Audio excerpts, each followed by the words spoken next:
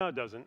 So, but welcome again. I'm Dr. Dave Newton. In case you're watching on the video for the first time, and uh, we're here at Calvary Chapel, and we're doing a study every Monday night. Figure it out. Currently, we're in uh, Isaiah, Jeremiah, and Ezekiel, and we're borrowing a little phrase from Peter in our fall study where he talked about the prophets who prophesied of the grace that would come to you, made careful search and inquiry, seeking to know the person or time that the Spirit of Christ within them was indicating. And so that's what we're going to be looking at. Uh, you're probably happy to see part four up here because tonight's the last part of covering everything related to heaven. Uh, so we got it in in four nights. Um, so we'll figure out, finish up tonight with Revelation chapter 4 and 5 to go along with our Ezekiel, Isaiah, Jeremiah that we've looked at before. And then we'll also take a quick little look into Acts chapter 9 and a little commentary from 2 Corinthians 12, where Peter, uh, the Apostle uh, Paul goes ahead and comments on his uh, personal experience uh, in the heavenly realm. So, uh, quick review, just to kind of take the first three weeks. This is where you should be. I want to get you to a place where you feel uh, conversant. You feel like you can talk about this without maybe having the notes in front of you. If somebody asks you about, you know, some of these different beings and what's going on in the heavenly realm. And so, so far we've been through Isaiah 6, Ezekiel 1, Ezekiel 10, Ezekiel 28, and Jeremiah chapter 26. And so we've talked about the idea of the hemline identity, where it says, uh, I saw the Lord and the, the train of his robe filled the temple, and we looked at that and what that term really means.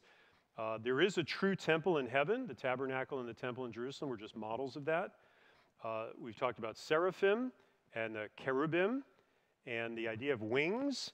And uh, we'll look a little more tonight at the definition of that term that although it can mean uh, a typical wing of a bird, uh, it also can be just opening up a, a large uh, coat or a cape or a tunic and just holding it up on the sides and creating kind of a, a big effect there. But we do see the same term fiery, brazen, burnished, bronze, uh, flaming uh, when we think about the seraph and the cherub. And then the Ophanim and the Galgalim, which are also dealing with uh, these kind of these deals of wheels, spinning vortex, gyroscopes, whatever. We do see the faces of the lion, the ox, the man, the eagle. We took a look at the throne, the majesty, these precious stones that are reflecting uh, the expanse overhead of the throne, which is like crystal, or also interpreted, uh, the term can either be emerald or a rainbow. Uh, there's a cloud or a fire signifying the presence of God in his temple in heaven. Every time there's speaking going on, it's a voice like waters and many thunders and deep, deep kind of rushing. It must have been very loud.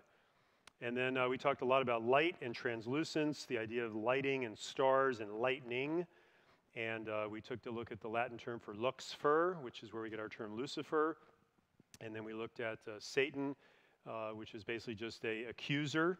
That's what it means, or an adversary. Uh, it's a legal term in the uh, Hebrew there. And the morning star and then the idea that angelos are simply just messengers. And obviously, the beings in heaven uh, that were, were, these ornate ones and so forth, they, they are not just regular angelos. Uh, they're, they're permanently in heaven uh, providing uh, worship to the Lord and so forth. Um, we also took a look at defining the seraph and the cherub, and that they're fiery, brazened, or burnished. Both words mean the same thing. Uh, always remember, uh, there's no passage anywhere where you'll read about uh, the seraphim were here, the cherubim were over here, the zoa were over here, and the elders were over here, and the it's not as if there's descriptions and they're all in the same scene. Does that make sense? You'll hear one guy use the term when he wrote it down. He used seraph, which is the fiery, brazen, uh, burnished. It's the same, similar term to cherub but they're not in the same passages. So, and then when you get to the New Testament, we see Zoa for living beings. We're going to see that tonight. We don't hear about the Zoa and the cherub or the Zoa and the seraph. It's just the Zoa. And Zoa means life or living being. And, um, and then when you see tonight that the Zoa have four faces, we're going to say, wait a minute, I've seen them before. That's the seraph and that's the cherub. And I think we'll see tonight, I have a chart at the end where we're going to take a look at all the different passages across the top, the key players down the side, and compare them side by side. And I think it'll help put it all in order for you. Um, and I think everybody is over the fact that there are no little uh, chubby children with little wings like we saw in the, uh, in the Renaissance paintings and so forth. Uh, Lucifer is a cherub. He's a, he's a cherub, uh, singular. He was created, covered in precious stones, translucent light. We looked at that in Ezekiel 28.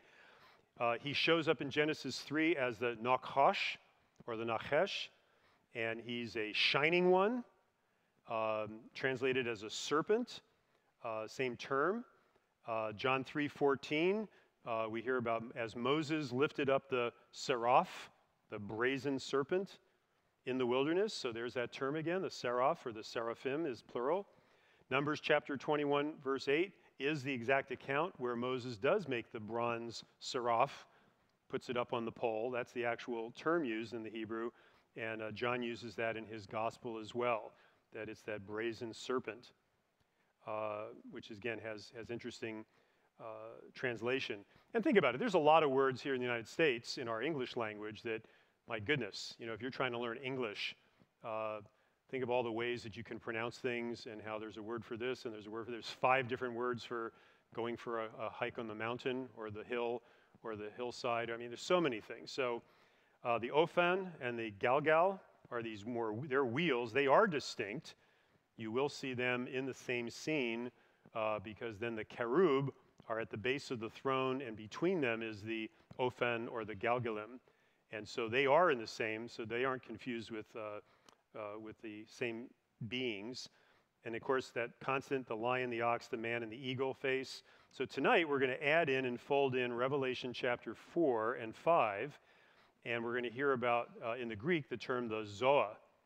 And zoa simply means it can mean life, it can mean living, it can mean alive, it can mean a living being. And um, interestingly enough, little spoiler alert, as we go into them tonight, the zoa have, guess what, four faces a man, an ox, uh, an eagle. So it's going to be the same as we've seen. And uh, Ezekiel, Isaiah never have both the seraph and the cherub in, in the same scene. It's like they're both in there. Uh, you will read, as I mentioned before, there's a lot of scholars out there who have created, there's a whole hierarchy. They either call it the eight stages of angels or the 10 stages of angels. And they've got this whole hierarchy they've created. As I've said before, that's just man's attempt to kind of create that. Um, but the real evidence as you go into the word is that there are not eight or 10 different kinds of angels and stages. Um, there are angels, they're messengers, angelos in the Greek. And then there are these living beings in the heavenly realm. And that's really all there are. And so we'll see that tonight. And uh, again, we don't see, even in Revelation 4 and 5, we don't actually see any mention of seraph or cherub. So there's no cherubim or there's no seraphim in John's interpretation. But what he comes out with in writing in Greek, he says, Oh, I saw the Zoa. And these are these living beings. And guess what? They have four faces, just like we've seen with the others, okay? So John is on Patmos. He's been uh, he's the only surviving uh, original uh, apostles, uh, the disciples of Jesus. Uh, he's one of the sons of Zebedee. So there's John Bar Zebedee and James Bar Zebedee. Uh, Jesus called them um, the sons of thunder because they always were trying to call down fire and brimstone, like the Old Testament, on any village that wouldn't treat them well when they were leaving. And at this time, it's the early 90s. Domitian is the emperor. Uh, John's literally the only remaining apostle. He's probably in his early 90s, born right around uh, 1 AD or 1 BC, kind of a contemporary of Jesus. Um, it's about 93 to 96 AD. He's on Patmos, which is just off the west coast of Turkey, as we see it today. Uh, and it's a literal place and a literal time. And uh, some of your, your, your, Bibles might say, uh, we did this in the Revelation study in detail, but it'll say, uh, I was in the Spirit on the Lord's Day. And a lot of interpreters just say, oh, it was Sunday morning and he was in the Spirit. Um, they didn't even ca- start calling it the Lord's Day until the third or fourth century. Uh, and, and so the, the correct interpretation in the Greek there, he says, I was transported in the Spirit to the day of the Lord. Okay, that's what he's saying. Okay, so whenever you read that in your scriptures, he's, he's not saying, oh, Sunday morning, the Lord's Day, and I was praying just before I went to Calvary and got my coffee and donuts. Okay. No, he says, I was in the Spirit and I was transported to the day of the Lord. He's literally taken out of physical time and space, and he gets to see everything from the perspective that the Lord sees. And he's outside of time. So John now views from God's extratemporal perspective he's going to see Earth's past, his own past and Earth's past. He's going to see things going on very contemporary to him. And he's going to also see things that are still future from his perspective, some of which are still future for our perspective. Uh, remember, heaven, capital H, is different than in the Greek, it's called the Uranos, which is just kind of the uh, looking up at the stars and the moon and the Milky Way and the galaxies, and that's the, the second heaven up above the atmosphere. Uh, heaven, capital H, is God's domain. It is not within our universe. It's not as if you go out to Saturn, make a left, and head to a certain place, you'll find heaven. Okay? It, the Lord spoke the entire universe into being, and He did it from outside the time space uh, that we have in terms of molecules and, uh, and atoms that we are composed of. Uh, so he's there. It's, it's not an apparition, it's not a dream. He's actually transported out to the day of the Lord, and he gets the Lord lets him see a, an incredible perspective, not only of earth events, but also of heaven. And uh, if you look and do a study, uh, Chuck Missler used to say that um, in the 404 verses that are in Revelation, there are almost 800 references to the Old Testament in 400 verses. I mean, you can do the math there. That's an average of like two per verse. And some of these verses have three or four in them at a time. Uh, the other thing I've done is I did this a long time ago, but went through and just looked at all the times that John says, I saw, he showed me, I heard, I looked and beheld. Over 70 times in the book of Revelation, he's saying, I saw this, I looked and saw that, I heard this. So he's actually there and experiencing this. Uh, we have no idea how long it actually was. I mean, he's on Patmos. He could have just been sitting in the back of the cave. Uh, there's really no place to go. It always reminds me a little bit of do you ever see the movie Papillon with uh, Dustin Hoffman and, uh, and Steve McQueen? And they're on that little island. And essentially, they don't even bother with having chains or guards or anything because there's nowhere to go. You can't get off the island. And that's what Patmos is like. There's, there's nowhere to go. The currents around it and the, the way the waters are. So he's there. Uh, he's been uh, put there in exile and uh, will be released after Domitian's death. But uh, he could have been, you know, an afternoon, just with his eyes closed, just sitting somewhere and, and seen what, what could have felt to him like four or five months worth of revelation. Uh, could have been 20 minutes that he had his eyes closed. We'll see tonight that uh, Saul of Tarsus was sitting in the house of Judas on Straight Street in Damascus for three days in this back room, taking no food, no water. He had what appeared to be, when it came off, looked like fish scales had been on his eyes. And we're told that in that amount of time, the Lord discipled him to become his 12th apostle. Uh, so think about, again, when you're transported out of earth time, I always remind people of C.S. Lewis capturing that in his Narnia Chronicles, especially as the kids go through the wardrobe they grow up to be adults and are kings and princes and princesses and queens. And then they come back and they see the lamppost as adults. They go back through the back of the wardrobe. They step out and they're kids again. And the nanny comes in and says, Let's go, everybody, time for dinner. And they go, How long were we gone? And she goes, What are you talking about? And it's literally just, it felt like a second in Earth time. And so that helps to um, capture that idea that there's no time once you exit the temporal realm. The true temple in heaven, uh, the models that we have for that are the, the wilderness tabernacle and also the Jerusalem temples.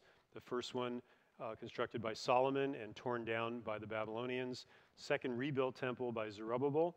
Uh, after Cyrus gave them, uh, after the 70 years of captivity, they go back to Jerusalem, rebuild the temple. And then, of course, Herod buying into this new title that he purchased called King of the Jews, which the Roman Senate gave him with a lot of money. He also put a lot of money into adding on to that second temple, and that's why it's often uh, referred to as Herod's temple. Uh, but those are models of the earthly temple. The, those plans were given in Second Chronicles to uh, David and all his workmanship and craftsmen to, to model it exactly as the Lord described it. You can even go back to what Moses put down in Exodus about how the tabernacle should be constructed with the outer court, the inner court, the brazen altar, the altar of incense, table of showbread, the seven gold lampstand, the holy place, the holy of holies, the veil. Everything is all symbolic of what's going on in heaven for real. And so John Uh, I, am in the camp that uh, Dave Hunt always said, which was chapter 4, verse 1 of Revelation, says that uh, meta tauta, after these things, what's, what's going on before then? Let's see if how many of you remember from Revelation. It was the seven letters going on in chapters 2 and 3. After those letters are done, it's as if uh, he's going to be going into and seeing what it's like at the harpazo. Uh, he gets to see what you and I will see at that very same instant. Think about that. Our perspective is we still think of everything as linear time, it's still to come. Uh, he's already outside of time, saw us, comes back into the 90s AD, and yet we, we, don't, we aren't even born yet on this earth timeline. That'll keep you up at night, okay? Uh, and then we're going to take a look tonight at Revelation 5, verse 9 and verse 11, because we hear that term. John sees in front of the throne every tribe, every tongue, every people, every nation worshiping at the, in the Greek word is the thronos, and we get our English word throne. That's a pretty nice, easy one. And um, that's you, me, everybody who's at the marriage of the bridegroom and the bride. And uh, here's the one I, I, I, think is interesting for you. Look down at the bottom here. The Greek word, he says, is that how many are there in verse 11? He says it's uh, the Greek word is myrias. And myrias just means you can't, you can't count them, it's too many, it's innumerable. Think about that. John, John takes a look at the crowds in front of the throne. I, mean, I can't even imagine what that would be like. I don't know if he had a chance to do like a helicopter flyover of it, or he's looking from a distance somehow, we don't know. But he says, I looked and behold, there were myrias in the Greek. And then see the other word that comes in, in uh, Revelation chapter 9, verse 11 is at the bottom here, is the term kilios. And kilios in the Greek is where we get our term kilo. And kilo is a thousand. So a kilogram, a kilometer, right? And so a thousand grams, a thousand meters. Kilo is a thousand. That's the Greek word for the number 1,000, is kilo or kilios. So the term, he says, you know how many people I saw? I saw myrias kilias, innumerable thousands. That's the best he could come up with. I don't think they knew a lot about big, big, big numbers in the first century AD. And so for him to come up with, you know, in, this, in, the, in the inspirational Holy Spirit, I saw myrias kilias. It was too many to count, and of those, there were like thousands of those. That's how many there were. And isn't that encouraging to think that uh, it's not like there's 1,500 people who are saved in, at the throne uh, for the marriage. I mean, it's, it's billions. And, and he sees it, and he just says, it must have been mind blowing to get a view of that. Myrias, Kilios. Okay? Everybody got a little Greek lesson for tonight? Okay? Being transported, the harpazo, to the day of the Lord. There are many Old Testament references of this. Now, we've covered the harpazo in great detail in Daniel. We did it very much detail in uh, a lot in Romans and certainly in Revelation. But, uh, and of course, the main two passages you always go to are 1 Corinthians 15 and 1 Thessalonians chapter 14. Those are the two places you can read about the harpazo, and the term is actually used there. Uh, but the Old Testament references are interesting. I have uh, five that I like to look at. We'll look at four of them right now. Um, Psalm 27 5 uh, in these passages, when you look on the screen, you're going to see something in kind of dark red, and that's going to point you to it's, you're being taken out before the day of the Lord, judgment, the vengeance of the Lord, the wrath of God. They're all going to be in the red. And then the caught up or being taken out, symbolic or an inference about the harpazo, you'll see it in the, uh, which I always use for the Greek, is in the uh, gold there. So look at Psalm 27 5. On the day of trouble, he will do what? He's going to conceal me. The, the term there in the Hebrew is to either uh, hide me away or give me some refuge. Isn't that cool? When the day of the Lord comes, this is David prophesying, he's going to give me some refuge in his tabernacle. Oh, not what, the one in the wilderness? Oh, that was already, that was already gone. In his real tabernacle, he's going to hide me in the secret place of his dwelling. So I believe that's a wonderful allusion and prophetic statement about the harpazo.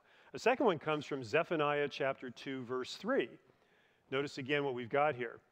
Seek the Lord, all you humble of the earth who practice his commands.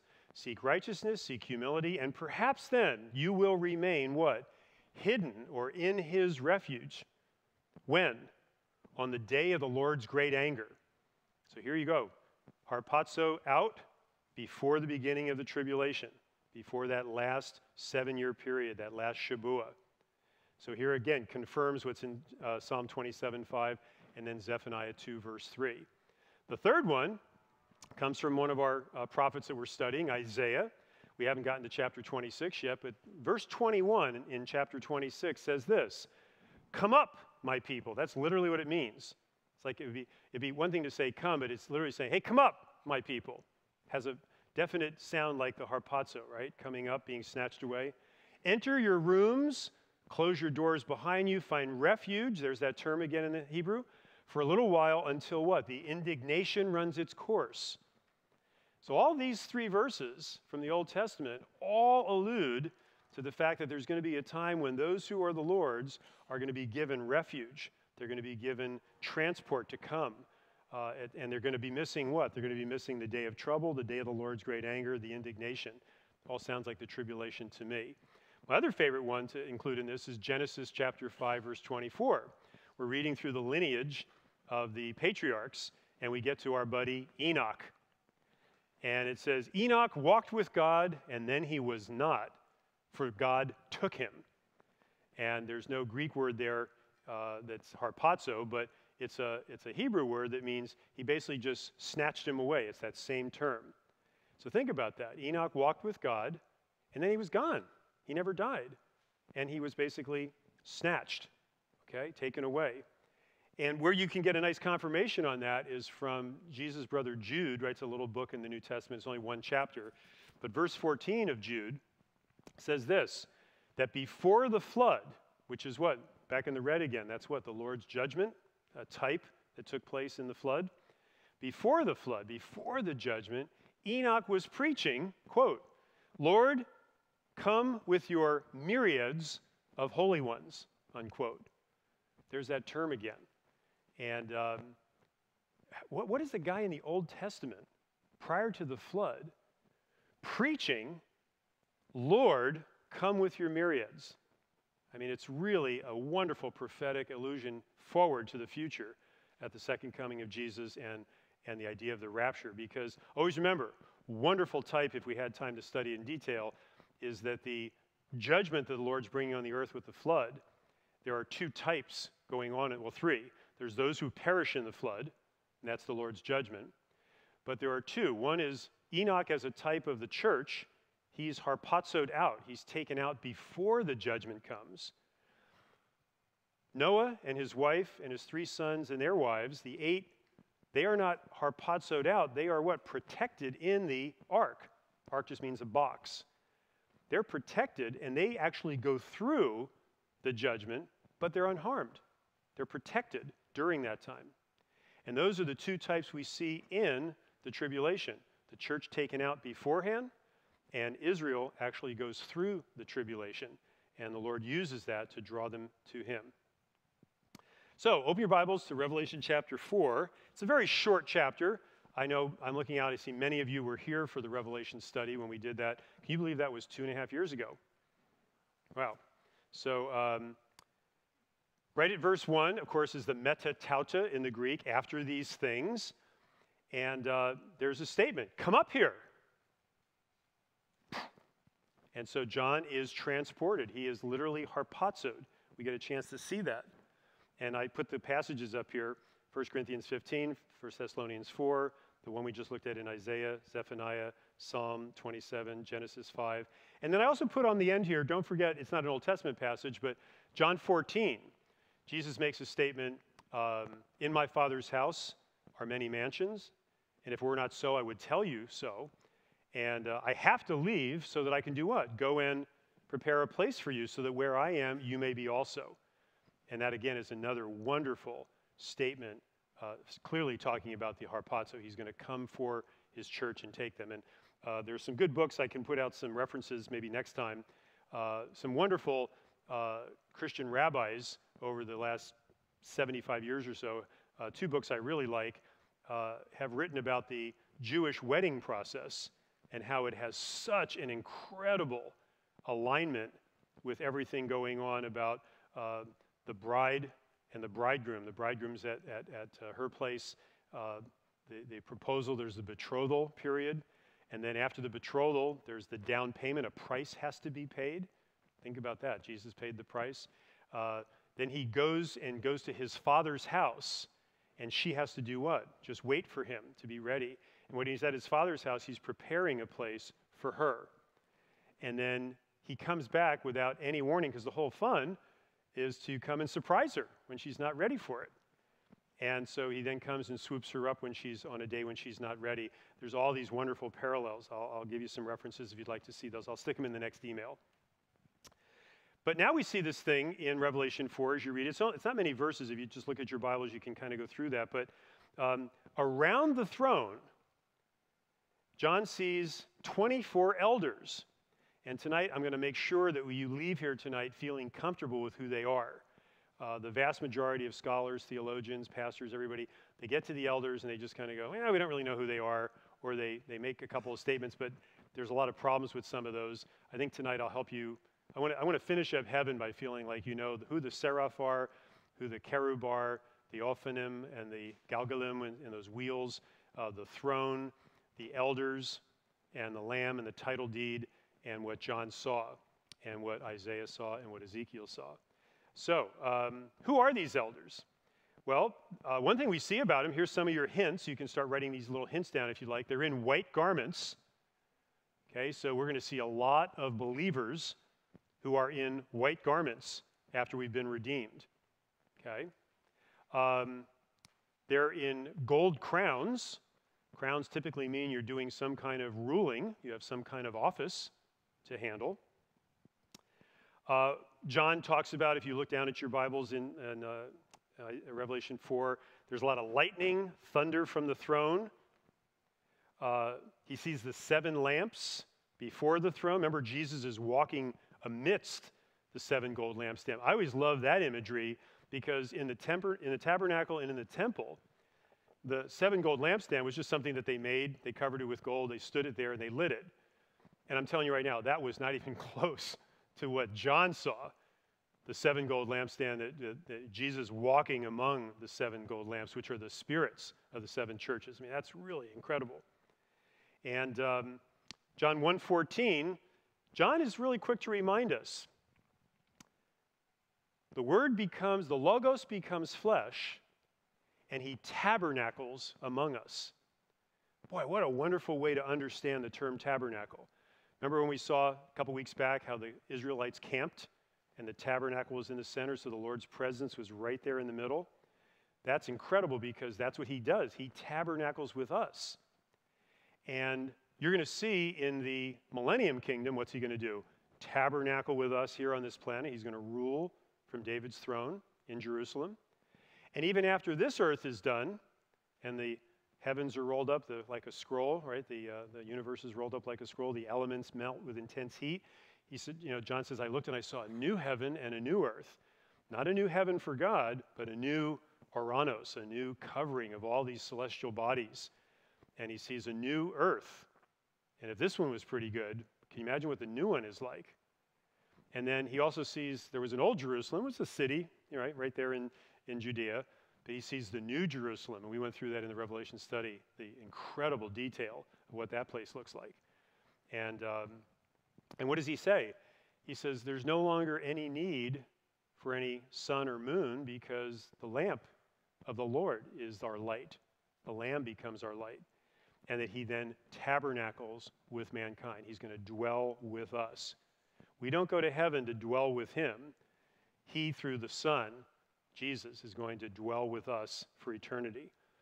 And um, verses tw- uh, chapter 21 and 22 of Revelation, the Lamb is going to tabernacle among mankind. You can read about that. We did that in the Revelation study. That's really exciting. We also saw in Revelation 4, if you look down at your passage and read, read through a little bit, you'll see a crystal glassy sea that's right before the throne. Again, just picture a, a first century guy seeing whatever it is he saw, and he just said, it looked like translucent glass, like crystal, just in front of the throne. And then there are these myrios kilios, you know, more than I could ever count times a thousand, standing before the throne. I mean, it's amazing. And this term thronos comes up again. The elders are on thronos, and there is he who sits on the throne. Um, and then we get this term. Now, here's our new term the Zoa. And there's many Bible commentaries who say, oh, let's go through all the, the categories of angels. There's regular angels, there's uh, named angels, there's archangels, then there's seraphim. Above them is the cherubim. Above them are the ophanim and then the galgalim. And then above them are the zoa. And, and as if they're, you know, there isn't a single scene in anywhere in the Bible where the zoa, the seraphim, and the cherubim are in the same scene together. But you'll see in my chart tonight at the end that in the different ways that these different writers wrote about it, they describe them all exactly the same, just using a different term. I mean, they were literally just blown away at the fact that look at these living beings. Oh my gosh. And notice, lion, calf, man, and eagle is going to come up again. You can see that in, in Revelation 4. And uh, once again, they have this, you know, the perception, even as Ezekiel and as, uh, and as Isaiah did, uh, it seems that they have eyes all over as they lift open their garment or they spread up their wings. Uh, so interesting. And here's what's really nice every time there's a response to the praise and whatever's going on, uh, the elders are the ones who fall down on their knees. So no one's worshiping the elders. Make a, make a note to yourself. No one worships the elders. They are on thrones, they have crowns and they're ruling, they're in white garments, but they fall down in front of the throne and they take their crowns and whether they cast them down because they recognize that we're here to worship the Lord. And yet they have some kind of ruling going on. We'll get to that in a moment. And they say, What? You are worthy. You are the only one worthy to be worshiped because you created all things, and by you, everything exists. Now, most important is Revelation chapter 5. Let's take a look at that now. Just switch over one more chapter. And this we covered in detail in our Revelation study. But as you, as you roll through that, it's a short chapter again. But uh, it's probably, as Dave Hunt used to say, the most important real estate transaction in the history of the universe. Okay? There's one on the throne holding the title deed of the earth, and it's been sealed as it should be. The title deed needs to be redeemed by a kinsman redeemer, one who is able to do what? Pay the price to redeem it. It's been forfeited by Adam. It's going to be reclaimed by, we'll see in a moment, the second Adam, as he's referred to by Saul. Romans 5 12 through 21. Sin entered the world by one man, and so death reigned through Adam. 1 Corinthians chapter 15, early on, it talks about there was a first Adam, but the second Adam is the one who is able to do what the first one could not. He can redeem what was forfeited. And he says, uh, John says, I was weeping because I thought to myself, who, who is possibly able to go up and take the title deed from him who sits on the throne and open it. Someone has to be able to be what? The kinsman redeemer who's worthy to take the penalty and to have paid the price. And we see a foreshadow of that in the book of Ruth, right? With uh, who? Our buddy Boaz, as he redeems Ruth and Naomi. And so he says, I looked, and behold, I saw a lamb as if slain. So the elders and the alive ones, the Zoa, Sing that the Lamb is worthy to take the scroll and open the seals. And then we read, The Lamb purchased or paid for everybody, those myrios kilios that he saw, every tribe, every tongue, every people, every nation. You can go back through the Revelation notes. We took a long time when we went through that study to actually drill down on what those four terms mean. Some have to do with ethnicity, some have to do with a nation. Um, but everybody. And the term there, once again, I love it, it's myriads, same as we see uh, throughout uh, the prophecy of Enoch. And they say, Worthy is the Lamb to receive power and wisdom, riches, might, honor, glory, blessing. Whew. Really exciting. And here's the elders again. When they hear all that, they say amen. What does amen mean? Do you remember? So be it. Right? I affirm that. Amen. So who are these guys? Well, a couple little things come up. One is uh, option A is some say, well, there were 24 courses of the priests. Zacharias was of the course of Abijah. And remember, he was in the temple serving. There were 24 courses. You can read about those in Second Chronicles. And uh, maybe they think that these are, you know, some of the priests. Uh, I'll shoot that one down just because there's no need for priests any longer. Right? who's our one high priest right now? Jesus Christ. He's paved the way. He's, he's not only our great high priest, he's also the sacrificial lamb. And there's no need any longer for any more sacrifices. Saul the Pharisee makes very clear in the book of Hebrews that there's one sacrifice once for all, there's no longer any need. And even says those sacrifices of bulls and rams and sheep and everything, and they could never actually cover your sin. They could only symbolically show that you were sorry for your sin. Uh, another option is the 24 divisions of the singers. Uh, we don't actually see them singing or anything like that, but some, some people bring this up. They're also in Second Chronicles. Some say, oh, you know what you do? You add up the 12 apostles and the 12 tribes, and you get the 24. So wouldn't that be cool that the ruling elders, you got the Old Testament and the New Testament? I've read a lot of those commentaries. They're interesting, but um, the problem with that is that uh, the scene that they're looking at at this time is a scene of the marriage, and Israel is, most of Israel is still on the planet Earth going through the tribulation. And so interesting. But option D, it could be that they're the church, clothed in white. In fact, we're told Jesus reigns with his church. We're going to reign with him, we're told that.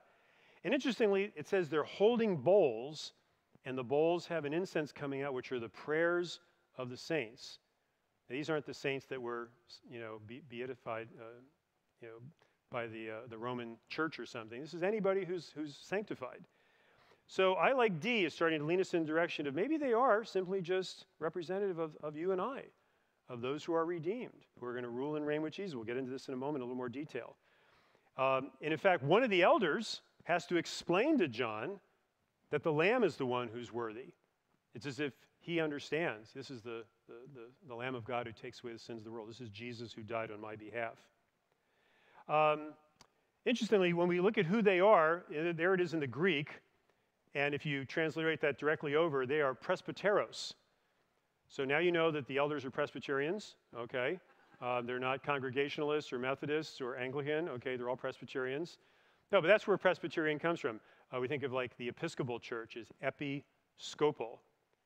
Episkopos is the Greek term for an overseer, episkopa.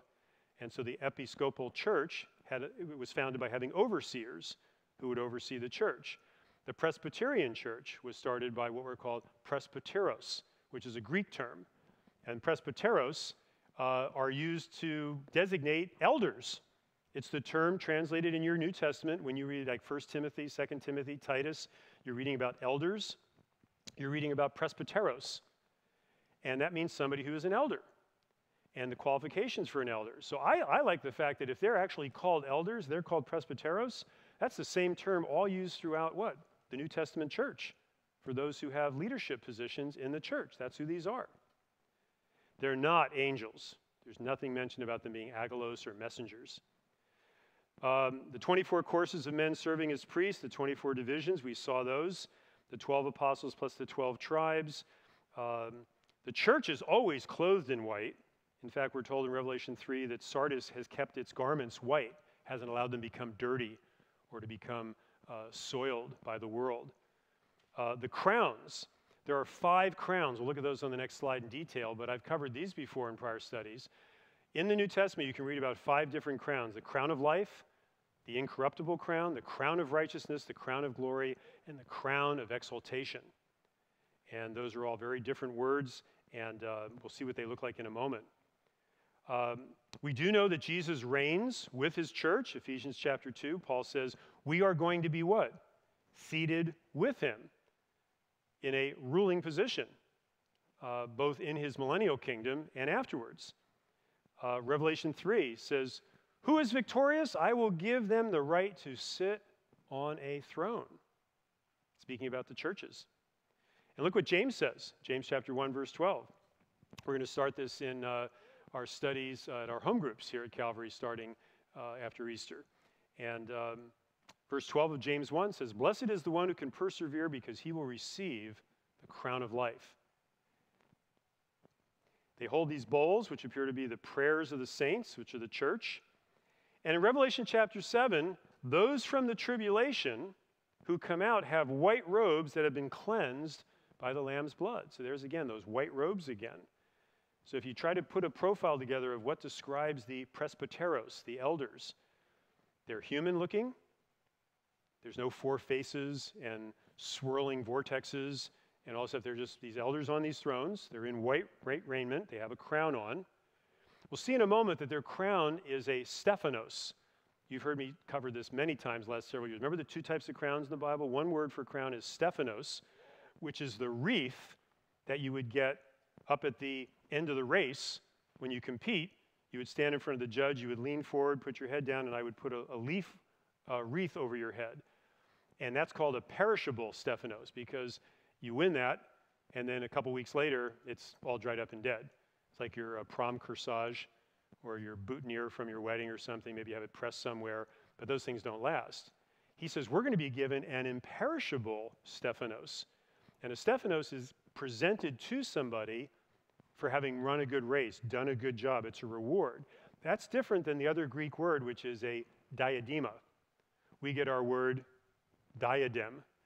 And someone who is crowned with a diadem is a ruling king majesty, power, glory. We don't get diadems, we're not gods, but there are Stephanos given to us. Those from the tribulation have those white robes, and so uh, you can read about the Zoa. They're mentioned in chapter 4, 5, 7, 11, 14, and 19, and the elders are in there with them. and I think it's always great. Every time you read about the elders, you also read about the Zoa, and they're all together doing what? Worshiping the Lord falling down, they're casting their crowns down, they're praising, saying, Thou art worthy. So here's some theories that are out there. We looked at the first one. I thought I'd give you one slide that kind of breaks it out nice and clean. Um, the idea of Zacharias and the 24 courses of the priests. But again, Jesus is our only high priest. We don't have any more priests going into eternity. Uh, thankfully, you don't have to confess to anybody during eternity, okay? Go in a box and anything like that. Um, the 12 plus 12, but the question comes down to what about their roles in the book of Revelation, though? Those are really, really different roles for the apostles and the uh, 12 tribes. In fact, the New Jerusalem has four walls, right? And there are three foundation stones in each of the walls, and whose names are on those? The 12 apostles, okay? The highest level or rank of all the angelos, that's what some say they are. They say when you finally get around to the elders, these are super angels that are sitting on these thrones. Well, they're not, they're never even called angelos. Uh, they're, they're, they're, they're supposed to be messengers, but they are called presbyteros in the Greek, which is a elder, same as the New Testament term. Um, and here's the thing that shoots down the idea that they're angels. In Revelation 7:11, you know who's in the picture together? Angels and the elders. So uh, there, there's a place where you can recognize that they are distinct. Um, some say they are redeemed saints, but the elder explains who the tribulation saints are, and they're not the elders on the throne. This is a crazy one. It's been out for about 25 or 30 years. There's some commentaries out there. Because of a couple passages that are wrongly translated about how the Lord created all the worlds, plural, it looks like in the English in some, in some translations, world means plural in the sense of all the world, everything you see. But some uh, poor translators have viewed that as all these other worlds, as if there are other places besides Earth where there are beings like us who haven't fallen. I'm not making this up, okay? You might run into it. And that there's a big gathering in the book of Job of a bunch of these folks who haven't fallen with some of those who have fallen on our planet. And uh, it's really a stretch to get into there. The idea that there are other planets, other solar systems, other galaxies with beings that have not fallen into sin, and they are going to be the elders sitting on the throne. Um, I'm just going to tell you if you read about that, feel free to read about it. You can make up your own mind, but there's really no biblical support for that. Here's what I get into the crowns are Stephanos, they're wreaths given to the victor, and they're given at the Bema uh, when Kim and I were in Corinth several years ago, um, we actually got to see the, the Bema is right there at the end of the main thoroughfare in ancient Corinth, just where the synagogue would have been. And they had their church meeting next to the synagogue. And you just picture being there with Gallus up there uh, giving his statement about how you're not supposed to preach anymore in the city. You're messing around with those Corinthians. And um, that's up at the Bema. And the Bema was also at the races at the track. And when someone finished the race, they would go up to the bema, and there the authorities would be on these beautiful velvet chairs or pillows. They would step forward with their Stephanos. You'd lean your head forward, and they'd put it on your head as the victor. Um, Revelation 19:12. It's not the same thing. Jesus has a crown in Revelation 19:12, and I spoiled it for you a couple minutes ago. What's the Greek word for his crown? It's a diadema. He's wearing the king's authority, the majesty, a diadem, as we call it in English, for rule, ruling or royalty, not a Stephanos. Jesus doesn't go in and say, I leaned my head forward and somebody gave me a Stephanos because I did a good job. Okay, no, he's, he's the ruling majesty. And then we see the term thrones, uh, thronos in the Greek. Um, and so, again, they're on these thrones. They have some form of station or office of ruling. They're wearing a Stephanos, they have white robes, and yet they fall down and worship him who's on the throne. So here's the elders in summary they sit on thrones and rule, they wear golden Stephanos, a wreath given to a victor, which sounds a lot like a believer who's been given that at the Bema. They are Presbyterian, I mean, excuse me, they're Presbyteros, okay? And uh, they are over, I just want to see who's listening, okay? Um, they're not non denominational, okay? So they are Presbyteros. And they're overseeing, ruling uh, as elders. They wear white robes. They sing a song of those who have been redeemed. Hmm. So they've been redeemed by the blood of the Lamb. That'd be a good song if somebody could write that. Oh, I think they already have, right? Uh, and listen to what they say in the original Greek You have redeemed us from among every tribe, tongue, people, or nation. And we're told that they are called kings and priests in Revelation 5:10. And they say this, "You made us a kingdom of priests to God. We will rule on the earth at the second coming." So they're sounding more and more like what? Representations of people who have been saved, who have come to faith in Christ, and these elders are representative of those who've been redeemed. And they have authority. They've been given a position as a presbytero. They are elders. There were elders in the churches in the New Testament. We have elders at our church here. Um, it's a New Testament uh, doctrine to have uh, men who can rightly divide the Word of God and all the, uh, the requirements for being a good um, elder.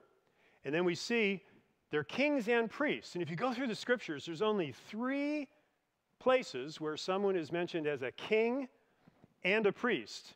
The first one in the Old Testament is Melchizedek. He's a king and he's also a priest. The second is Jesus Christ, because he is after the order of Melchizedek. He's the one that fulfills what it is to be not only a king, but a priest who can go in and do intermediation on our behalf. He's also the sacrificial lamb, all in one. And the third group that are kings and priests are you and I. 1 Peter chapter 2 verses 9 to 12 says believers are a chosen race a royal priesthood, a holy nation. And there's the concept that we will rule and reign in the millennium and afterwards, and we will do so alongside the Lamb. So I believe that they are representative of all who have been redeemed. They are in heaven, it's after the harpazo, and they are up there, and John gets a chance to see it. The harpazo has happened because we just heard what? Uh, chapter 4, verse 1 Come up here and metatauta, after these things, I was taken up there into the great day of the Lord. And the first thing I saw was the throne, and I saw myrias, kilios, innumerable times a thousand, every people, tongue, tribe, nation standing before the throne. And he says it's just uh, amazing. And then there's these elders, and just as there are elders in the New Testament church. So here's the chart I promised you. Okay? So here's Isaiah on the far side, Ezekiel 1, 10, and 28 in the middle, and Revelation 4 on the far right. Three things come up. We see seraph, and the plural is seraphim. We see cherub, or cherub, or cherubim, plural. We see zoa, or zoan, are the plural. In Ezekiel, it's a man, a lion, a bull, and an eagle. In Revelation, it's a man, a lion, a calf, and an eagle. We see four living beings in Ezekiel the throne has four living creatures in Revelation. We see in the midst of the living beings, he uses that same terminology. When he's referring back to the cherub, he says, in the midst of those living beings. And John's calling them living beings, living creatures. the living beings move like lightning so fast. And Revelation says uh, there are between the throne these four living creatures or living beings, and they are like bolts of thunder and lightning. So you're starting to see that uh, uh, three different views, uh, three different time periods. Uh, remember, Isaiah is right around 740 BC.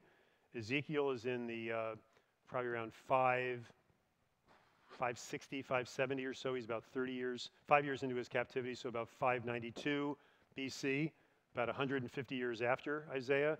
And John is in 93, 96 AD, uh, almost 600 years after Ezekiel, and 750 years or more, 850 years after um, Isaiah.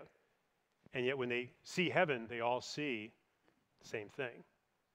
And I love the fact that they didn't go into a trance and their hands started writing, and the Lord just made sure everybody wrote the exact same thing. No, they saw what they saw. Remember, they didn't have a clipboard while they were there, going, I got to get this all down. And can you guys hold still for a second with the, okay? No, they wrote about it afterwards, okay? And this is how they remember it. Pretty, pretty amazing overlap.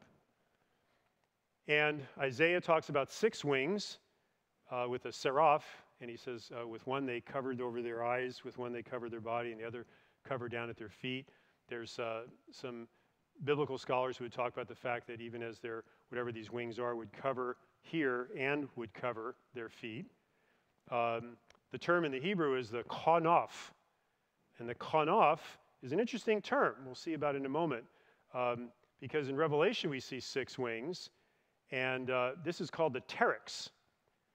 And uh, can you think of a, uh, a term that you'd see that before? Like a pterodactyl, right? That would be like a, with some kind of big giant wings to, to spread out. And uh, think about the pterodactyl's wings. When you see the description of the wings of the living beings, it says they had the hand of a man underneath them. And so try to get away from thinking about feathers.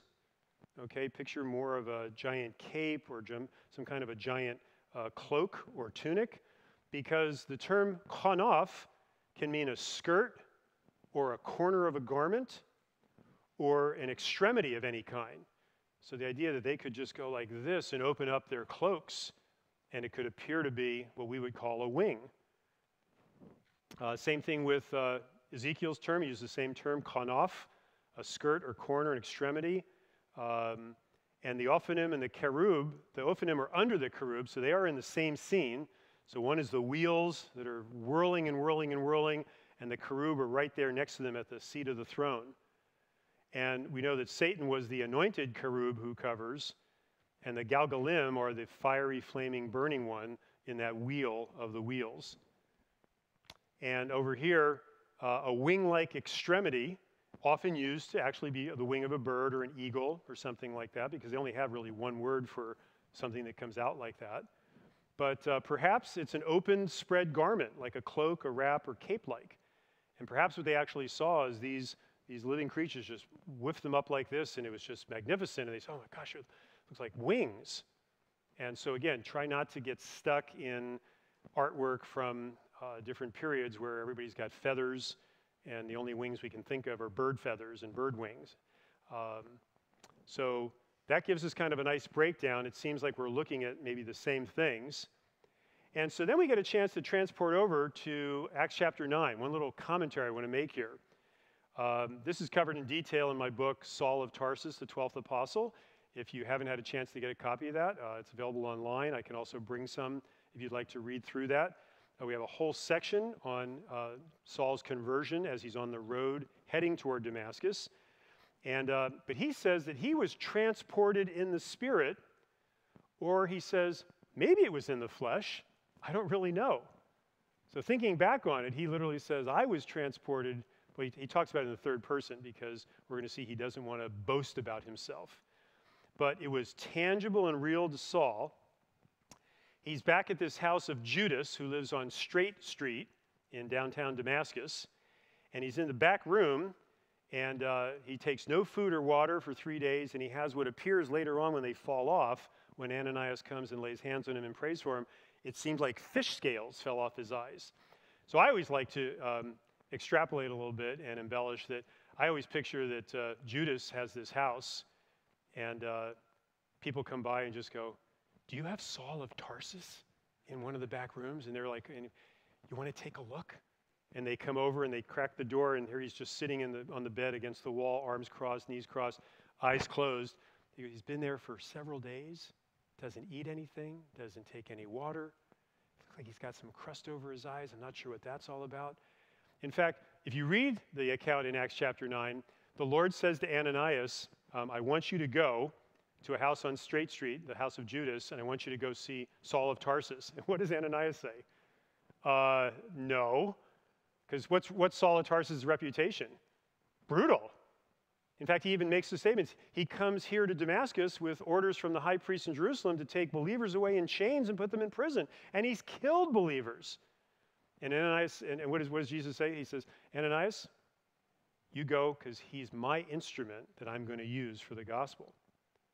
And Ananias, that must have been a, a tough, tough walk over to the other side of the town, right? And he comes to the door, knocks, knock. Judas opens the door and he says, and this isn't Judas Iscariot or something, right? This is just Judas who lives there. And he says, uh, is, is Saul of Tarsus here? He goes, Yeah, you want to see him? And he goes in, he lays hands on him, brother Saul. And remember, um, when the word gets out that Saul is saved, there's a lot of what? Skepticism at first. People are going, that's almost like coming back and saying some gross guy who did uh, all kinds of mass murders or something in our, in our day and age is now a believer. And you would say to yourself, what? In fact, when he goes to Jerusalem for the first time, there's a lot of skepticism about him saying, I'm here to preach the gospel. In fact, they're so concerned about the uproar, they send him on a ship out of Troas, out of uh, Tarshish, uh, excuse me, out of um, Tyre, and they send him up to uh, Tarsus, his, uh, his home city there in uh, Cilicia. So here's what Saul says when he writes to the Corinthians. You can just tell this is inside him. He really wants to tell people what he saw. He goes, I know a man, I know a guy, who 14 years ago was harpazoed, caught up to the third heaven. Whether in body or spirit, I do not know, but he heard inexpressible words which are not permitted to be spoken. Oh, unlike John, who's writing down the revelation, unlike Ezekiel, who writes it down, unlike Isaiah, who writes it all down, he's told no. And I love it because I believe what Jesus is saying to him is um, that whole experience was for you and your discipleship so that you would know I'm going to be with you. And um, I'm sure there was a lot of discussion in that discipleship time outside of time space in that third heaven because he also had to convince him that um, Saul, I'd like to use you for ministry. And you can imagine Saul just going, Yeah, I'm going to go to the Jews. I'm a Pharisee, circumcised on the eighth day, tribe of Benjamin. I, I was studied under Gamaliel. I, yeah, send me, Lord, to the Jews. Well, we're going to send you to the Greeks and uh, the Bithynians and the uh, Parthians. And, and you can just see he must have just been like, You're going to go to Cyprus, you know, Malta ultimately. You're going to go to Rome eventually. Um, that's why I believe the Lord gave him one little, one little nice thing to do, which is, you know, go ahead and write a treatise to your, to your wonderful nation of Israel that you love, your beloved nation. And we call it the Epistle to the Hebrews. And uh, Paul's model is what? To not boast, not recount his vision, not speak about it. Why? Well, he actually answers the question. He says, boasting may be necessary, but it's not going to be profitable. I will only boast in my weaknesses. I refrain from boasting so no one will credit me or think more of me than what he sees in me and hears from me. He's literally saying, the Lord says, Everything I discipled you in the extratemporal realm during those three days, earth time, that you were in that back room, it could have felt like what, three years? The other disciples had three year, almost three years with Jesus, fall of 29 AD till the spring of 32, about two and a half years with him, three Passovers and he could have given Saul a really good long term discipleship to get him ready to become an apostle. And yet, when he opens his eyes and the scales fall off, he goes, How long was I gone for? And I can imagine them just going, It's been three days. You've been sitting here for three days. And uh, I'm sure it felt like a much longer time. And this directly segues into what he calls his thorn of the flesh. That's why the thorn of the flesh, there is no way the thorn of the flesh is rickety knees or bad eyesight or arthritic hands, as some commentators have said. Number one, he boasts in his weaknesses, and he actually starts listing them beatings, scourgings, being in prison. I was in the water one time for an overnight and a full day on a shipwreck. I mean, he's talking about, I did all that gladly. What he's going to ask the Lord for is that this thorn in the flesh is actually a messenger from Satan sent to buffet me, meaning it's going to mess with its spiritual warfare. It's going to be the constant, always challenge of his, of his being an apostle. They're going to say things like, well, first of all, you were never with Jesus during his time. And didn't you kill didn't you kill Christians? And weren't you there when Stephen was stoned and you were watching the cloaks and you were in favor of all that? I mean, that's what he had to deal with in trying to preach the gospel. Imagine if next week Tommy said, uh, you know, we have a um, we have a guy who was part of Pol Pot's uh, regime in Cambodia who killed, you know, upwards of four million people. He's now a believer and he's going to be here on Sunday to share the word of God. And some of you would just be like, "We're having him," you know. And yet, could he be saved? Could he be, you know, in the same way? That's how that's what happened with Saul of Tarsus. And so, supernaturally discipled in three earth days while he sat silent in that back room. And as we close, a couple of quick things. The marriage is after the harpazo, but before the second coming. And that's what John sees. Everybody's standing there at the marriage. The bride is presented as spotless, holy, no blemish. Second Corinthians, we're going to present the bride as a virgin. Few in the churches have not defiled their garments. We see that about Sardis in Revelation 3. The supper comes after. That's after the second coming. Who gets to attend? Well, first, all those who come with the bridegroom go right into the celebration, right? After the, after the marriage in heaven, they all come now down to earth for the supper. But we see a couple of places where there will be believers from the tribulation, but they have to do what? They have to be ready with their lamps trimmed, waiting for him. Otherwise, the doors will close and they won't be allowed in. Israel, that has now embraced Mashiach, they're going to go to the marriage supper or the marriage festival. And you can read about these in Matthew 25. First, about the 10 virgins. At the time of the end, the groom has arrived. Come and meet with him, and some are ready and some are not as he comes back. And in Matthew 22, the wedding of the king's son. And not everybody who was supposed to be there is going to go. So, what does he say? We went out to the highways and the byways, and you bring in all these Gentiles. Let them come in as well. The Bema seat, real quickly. The five crowns that we see are these rewards. These are the five we mentioned earlier in our study, and you can see where they come from in the scriptures. Uh, the crown that's imperishable, and I put a little note here every one of this is a Stephanos. They're all a wreath given to the victor, given to the one who has run the good race. What happens is your works get evaluated, not you as a person. You're already saved by Jesus Christ. He's taken your sin, He's become sin on your behalf. You're saved.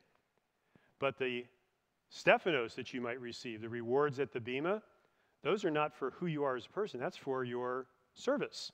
That's for what you've done on behalf of the Lord. Chuck Missler gives this reminder Salvation is a free gift. We receive it now, right now. We don't get it later. We receive it now by faith. The awards or rewards are something that's earned, they come at a future date based on your uh, humble servant's heart to serve under the Lord.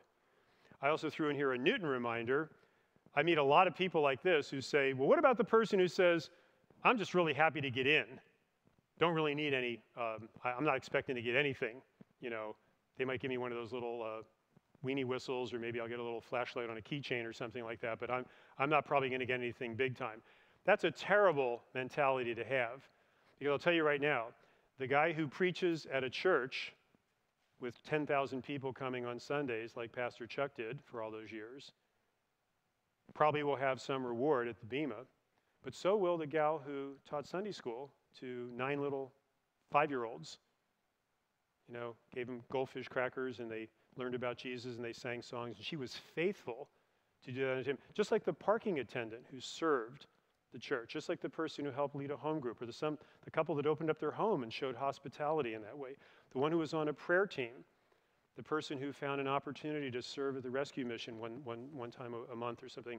Think of all the opportunities where God could say, if your service is done to be seen, you don't get anything for that. That's like coming forward and saying, hey, did you see me? And you go, yeah, everybody else did too, and you were pretty proud about that, so why don't you just move right along here? We don't have anything for you. Okay, but the person who's humble, humble in heart and so forth, the Lord says uh, there will be rewards for them. And we'll close with this Heaven's summary God's timeless realm. There are thrones in heaven. The elders are sitting on them, as well as the throne of majesty and glory and power and strength. There are Seraph, Cherub, the brazen fiery ones, and the Zoa, all described the same way. Same basic description these living beings, living creatures, moving like lightning. They have wings. Think about the term, though. Again, kanaph and pteryx can also, if I were to grab my, my cloak and go like this, up like that, and have my cloak hanging down, it would appear like wings. And so try to not always think about um, paintings that you've seen or illustrations with bird wings and feathers. The Ophanim and, the, and the, are under with the cherub. They are in the same scene. The wheel within the wheel spinning, and the cherub are there. Uh, the, and of course, uh, Satan, was the cherub who covers Lucifer. All the elders have a Stephanos, and they sing about being redeemed. They certainly seem to me to be ruling with the Lord as kings and priests, representative of you and I, those who've been redeemed, every people, tribe, tongue, and nation. And finally, the setting and the backdrop in heaven is Boy, you start listing everything that's in those passages beryl, a crystal expanse, emerald, rainbow, smoke filling the temple, flashes of light, fast moving lightning, peals of thunder, harps, music, singing, voices. I can't wait to get to see that. I think we'll think back, we'll have our memories, of course, and we'll think back and say, I taught on this. I didn't do a very good job. Because this, this is way, way better to see it in person. Many pastors and scholars and theologians won't commit on various topics such as the harpazo, the seraph, the cherub, the 24 elders, the millennium, what happens at death, extratemporal transport, when was Jesus crucified, when was he born. So for me, rather than leave or skip or pass on these topics, my desire, I think you know, you've been coming to my studies for years now, is always to deeply examine the full biblical counsel and all the evidence about the debated topics. I also like to present the other views. You know that about me. And I do that so that you can make your own decision. You can go in the scriptures and feel like, okay, I have a pretty good feel now for what I'm looking at, and you can be rational, thoughtful in how you make your decisions. Next week, we're going to look at Jeremiah 1 through 10, Isaiah 1 through 12 and Ezekiel 1 through 10, some passages in the middle. We're going to begin now looking at God's judgment of Israel. And I do have some good news. Uh, book number four has already been printed, which is going to be shipped out um, this coming week. I think it gets shipped out on Wednesday. And then book number five, I turned in last week, and that'll be here in about two weeks. And we'll have them come out at the same time because they're really tied together. Book four is what's the origin of the Bible? And book five is Is the Bible True? And it covers the main topics of reliability, credibility, infallibility, and inerrancy. And so I'm excited for those, also 40 pages each. And thanks again to our wonderful supporters. Uh, we have about the first 350 or so that come out. We'll just give those out to the church uh, for free. You won't have to buy those. So when those come out, we'll, we'll give them out together, and you'll be able to have those, okay? So let me pray for us, and we'll do some questions. Father in heaven, thank you for this time together. And as always, Lord, I love being in your word. I pray that everybody who comes here would also just be so excited to look at your word. And Father, you have uh, lots of stuff in lots of different passages. And it, it's our job, Lord, to take it slow, take it one step at a time, and uh, really think it through. Uh, that's why we took four weeks to go through everything about heaven, as seen by Isaiah, commented on by uh, Jeremiah, and to see what Ezekiel saw and then even see what John saw on Patmos, and even think about what did Saul of Tarsus see, and he wasn't even allowed to explain. He was just told, you know, you keep that to yourself. That's for you. And um, Lord, I pray that as we spend time in your word, you would just stir up in us a hunger for more, a desire to say, but I really want to know the word better. And we would read our Bibles. Uh, we would go to them constantly looking for exhortation and admonition, correction, reproof, uh, just ways to be built up. Uh, good for all kinds of instruction, Lord, and we're thankful for that. And I thank you for each person who's here this evening. I pray a blessing on them for the time they spend in the Word. And um, I pray, Lord, that you'd use this to uh, grow us up to a stronger knowledge of you. And we pray this in your name. Amen. Okay.